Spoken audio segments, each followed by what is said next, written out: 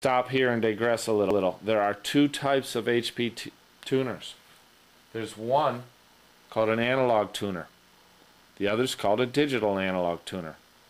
The analog tuner will do everything the digital analog tuner will do when attached to a cable TV signal. It'll simply take the digital signal and transfer it into your laptop. However, when an analog adapter, one that doesn't have digital functions, is attached to a TV antenna only, it will it will get your signals fine until February of 2009. At that point, the government is taking over the analog channels for law enforcement and to uh, sell them off to, I think, telephone providers. So, at that point, your TV tuner will still work fine to do all your transfers of videos and to watch all the TV you want as long as you hook up to your cable TV box or satellite. But this single antenna, all by itself, will not work with an HP analog tuner. It will work with an HP digital analog tuner. They look exactly the same, they go in the same slot. One is analog only, one is digital analog. Okay? Lots of people will never need the more expensive digital tuner because they're simply going to plug in to one of the cables at home from their cable TV setup. They're going to get digital through the analog tuner right onto their laptop. However, if you intend to use your HP laptop with the antenna only, just letting you know what you're up against. Okay, now, select your TV signal type. Analog only. We'll select that and go next. You're done. Okay, now I'm going to return to the TV settings. Okay, and I'm going to back on out of here.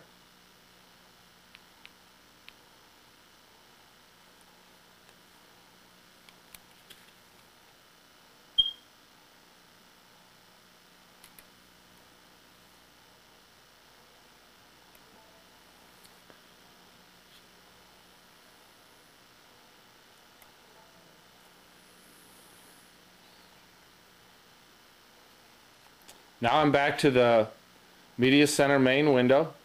I'll go over here to TV and movies. Live TV. Simply press the OK button. And once you've done that, once you've done that properties setup in settings, this is going to work. If you skip that properties settings setup, you're never going to get that tuner to work. Okay? So that's a little trick you need to know. There's Jay Leno. I can switch to channel 51 here by just selecting 51, pressing enter. Here's our local PBS station, 15. And as you can see with this tiny little antenna, even being inside, this tuner works great. Unbelievable for that little antenna inside. Look at that picture. I hope that was instructive. If you need one of these TV tuners, we'll have them available at getadapters.com. We have the digital tuner and the analog tuner, whichever you prefer. Thanks for watching.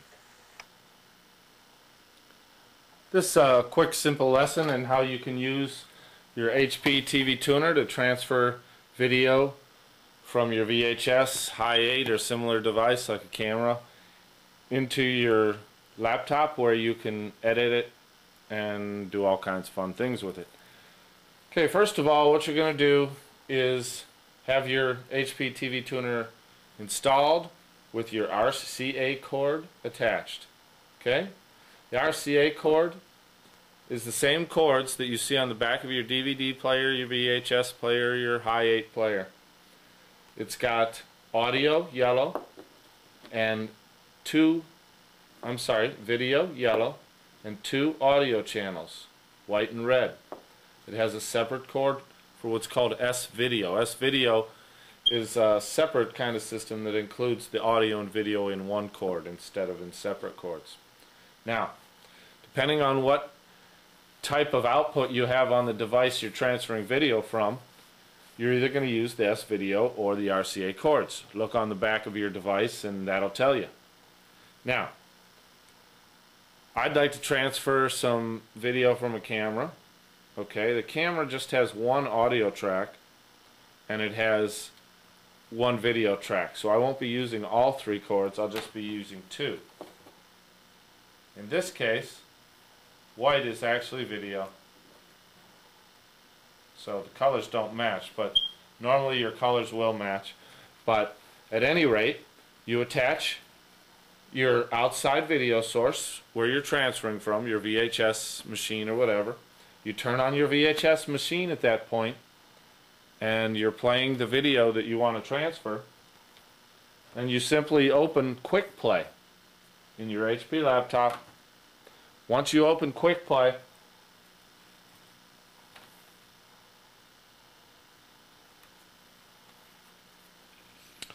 you have a menu. Down the left side, it tells you you can choose from the public documents, optical drive, the composite, or the S-Video cord, or the HP webcam that's built into here. You simply select S-Video or composite, depending on how you're using, which kind of cord you're using to get your video in. Once you do that, the video that's playing on your VHS or whatever you're transferring from is going to show up right here in the middle of Quick Play. At that point, you use the Quick Play functions to record it. Simply push the recording button and your tape that is playing on your VHS machine is now recording into Quick Play.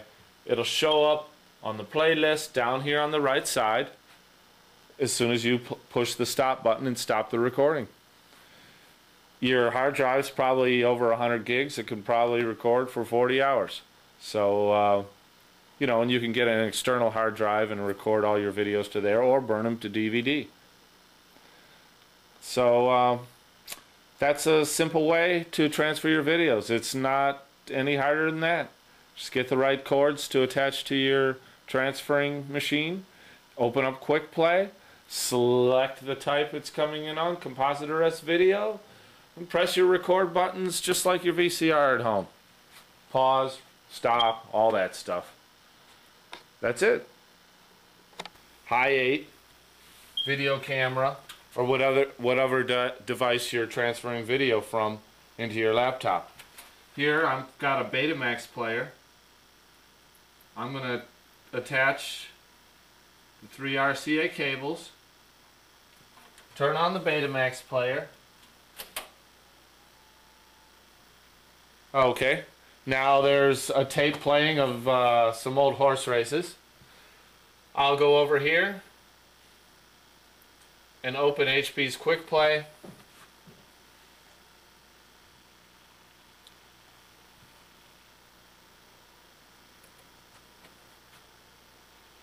HP's Quick Play opens like this and down the left side of the screen you have a list of sources.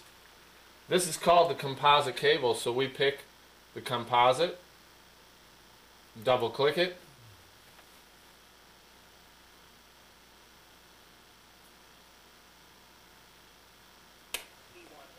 and there on the laptop screen is the same picture that's playing on my TV and is from the beta machine.